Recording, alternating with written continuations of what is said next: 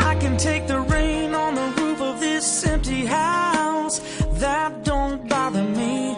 I can take a few tears now and then and just let them out.